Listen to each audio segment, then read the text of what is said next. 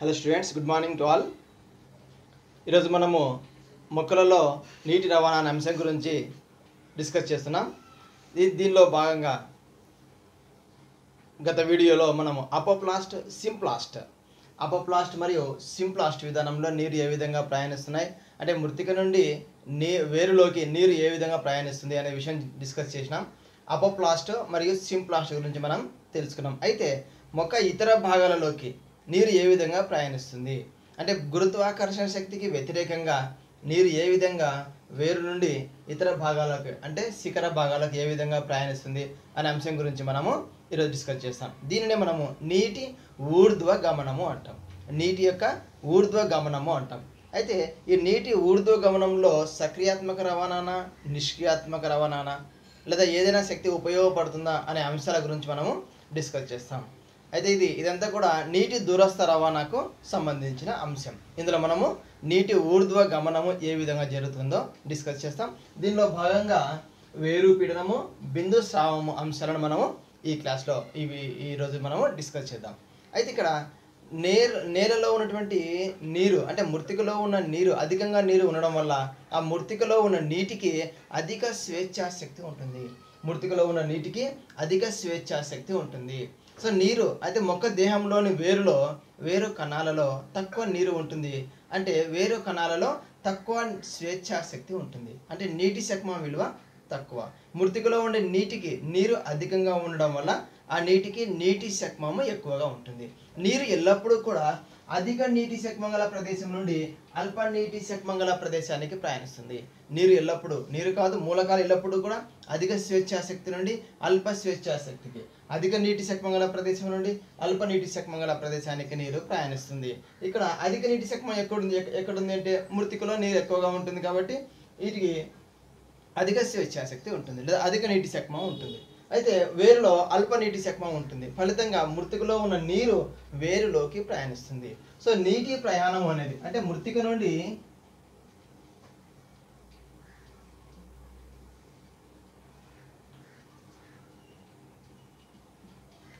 మృతిక నుండి నీరు వేరులోకి ప్రవేశించడం అనేది ఒక నిష్క్రియాత్మకమైనటువంటి చర్య.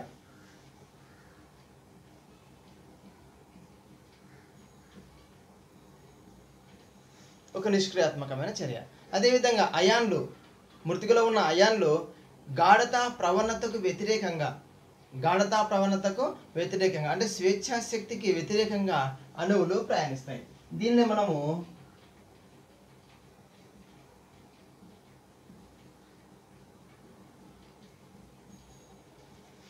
సక్రియాత్మక రవాణా అంటాం సక్రియాత్మక రవాణా అంటాం నీరేమో మృతిక నుండి వేరులోకి వేరు కణాలలోకి నిష్క్రియాత్మక చర్య ద్వారా ప్రయాణిస్తాయి. ఎలాంటి అంటే గాఢత ప్రవణతకు అనుకూలంగా ప్రయాణిస్తాయి. అదే అయాన్లు ప్రవేశ ప్రయాణం అనేది సక్రియాత్మకమైన చర్య. దానికి శక్తి అనేది అవసరం. సో ఏదేమైనప్పటికీ మొక్క దేహంలోకి నీరు ప్రయాణిస్తుంది. ప్రయాణించిన నీరు ఇతర భాగాలలోకి అంటే నీటి ఊర్ధ్వగమనానికి ప్రయాణించడం. గురుత్వాకర్షణ శక్తికి వ్యతిరేకంగా నీరు ప్రయాణించాలి అంటే ఇక్కడ మనకు ఏం ఉపయోగపడుతుంది అంటే వేరు పీడనం అనేది వేరు పీడనం అనేది ప్రధానమైన పాత్ర వహిస్తుంది. వేరు పీడనం అంటే ఏంటి? మృతికలో అధిక స్వేచ్ఛ అధిక నీరు ఉండడం వల్ల ఆ మృతికలో ఉన్న నీటికి అధిక స్వేచ్ఛాశక్తి ఉంటుంది. వేరులో ఉన్న నీటికి అల్ప స్వేచ్ఛ స్వేచ్ఛాశక్తి ఉంటుంది. ఫలితంగా వే నీరు మృతిక నుండి వేరు కణాలలోకి ప్రవేశిస్తుంది. వేరు కణాలలోకి ప్రవేశించినప్పుడు అక్కడ ఏం జరుగుతుంది? పీడనము పెరుగుతుంది. ఆ వేరులో ఉన్నటువంటి పీడనమే నీటి ఊర్ధ్వ గమనంలో ప్రధాన పాత్ర వహిస్తుంది. సో అక్కడ ఏర్పడుతున్న పీడ పీడనాన్ని వేరు పీడనం అంటాం. ఈ వేరు పీడనం అనేది ధనాత్మకం. ఈ ధనాత్మక వేరు పీడనము అనేది వేరులో ఊర్ధ్వ గమనానికి ప్రధాన పాత్ర వహిస్తుంది. అయితే ఈ వేరు పీడనాన్ని మనం ఎప్పుడైనా పరిశీలించవచ్చా అంటే పరిశీలించవచ్చు. తేమ అధికంగా ఉన్న సమయాల్లో మొక్క యొక్క చిన్న మొక్క యొక్క కాండాన్ని బ్లేడ్తో కట్ చేసినప్పుడు కొద్దిసేపట్లోనే మనకు నీరు ఊర్ధ్వ గమనాన్ని మనం పరిశీలించవచ్చు. నీటి బిందువులు బయటికి ఉబికి వస్తాయి. సో దాన్ని బట్టి కింద నుండి అంటే వేరు నుండి నీరు పైకి వస్తుంది అనే విషయాన్ని మనము గుర్తించవచ్చు. అంటే వేరు పీడనాన్ని మనం సులభంగా గుర్తించవచ్చు. అదేవిధంగా ఈ వేరు పీడనాన్ని గడ్డి జాతి మొక్కలలో గడ్డి జాతి మొక్కలలో బాష్పీభవనం తక్కువగా ఉన్న సమయాల్లో ఈ గడ్డి జాతి మొక్కలలో ఉదయం పూట పత్రాల పైన నీటి బిందువుల రూపంలో నీరు కనిపిస్తుంది.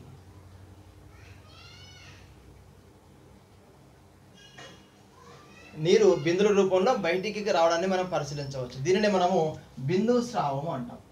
బిందు స్రావము. దీనిని గట్టేషన్ అని కూడా ఇంగ్లీష్లో చెప్తాం. గట్టేషన్ లేదా బిందు స్రావం అని చెప్తాం. ఈ గట్టేషన్ లేదా బిందు స్రావం ఎక్కడ కనిపిస్తుంది మనకు అంటే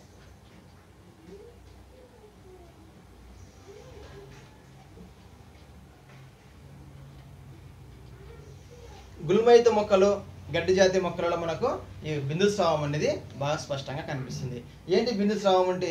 నీటి అణువులు స్రావం రూపంలో లేదా బిందువుల రూపంలో వాతావరణంలోకి వెలువడడాన్ని వాతావరణంలోకి వెలువడడాన్ని మనము బిందు స్రావం అంటాం. సో బిందు స్రావం అంటే బాష్పీభవనం అంటే మీ బాష్పోత్సేకంలో ఏం జరుగుతుంది అంటే నీరు ఆ నీటి అణువుల రూపంలో ఆవిరి రూపంలో బయటికి వెళ్ళిపోతుంది. కానీ ఇక్కడ మాత్రము స్రావము రూపంలో బిందువుల రూపంలో నీరు బయటికి విడుదలవుతుంది. దీనినే బిందు స్రావము అంటాం. బిందు స్రావం అంటాం. ఇక్కడ ఈనల యొక్క చివరి భాగాలలో ఈనల యొక్క చివరి భాగాలలో ఒక ప్రత్యేకమైనటువంటి సూక్ష్మ రంధ్రాలు ఉంటాయి. వాటిని హైడథోడ్స్ అంటాం.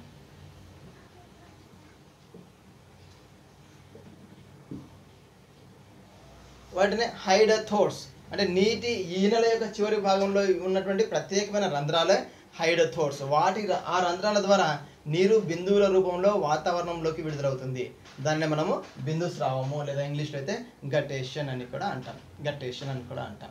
సో ఇక ఎక్కడ జరుగుతుంది అంటే గడ్డి జాతి మొక్కలలో మరియు గుల్మయుత మొక్కలలో మనం దీన్ని సులభంగా పరిశీలించవచ్చు. పగటి సమయంలో ఉదయం పూట మాత్రం మనం వీటిని బాగా పరిశీలించవచ్చు. అయితే ఈ వేరు పీడనం అనేది దేనికి ప్రధాన పాత్ర వహిస్తుంది అంటే నీటి యొక్క ఊర్ధ్వగమనం. ఇది కాండం అనుకుంటే ఈ కాండంలో దారువు ద్వారా. దారు ద్వారా నీరు ప్రయాణిస్తుంది. ఈ ప్రయాణించినప్పుడు నీరు నిరంతరంగా ప్రయాణించడానికి వేరు పీడనం అనేది ఉపయోగపడుతుంది. అయితే ఈ వేరు పీడనం అనేది కొన్ని మొక్కలలో ఉదాహరణకు సిక్వియా సెమీ పర్విరెన్స్ సిక్వియా సెమీ పర్విరెన్స్ ఇది ఒక ఎత్తైన వివృత బీజ మొక్క. ఎత్తైన వృక్షాలలో ఇది ఒక వృక్షము. ఏది? సీక్వియా సెమీ పర్విరెన్స్ ఒక వివృత బీజ మొక్క చాలా ఎత్తులో ఉంటుంది. కొన్ని మీటర్ల ఎత్తులో ఉంటుంది. మరి అంత ఎత్తుకి నీరు ప్రయాణించడానికి వేరు పీడనం ఉపయోగపడుతుందా?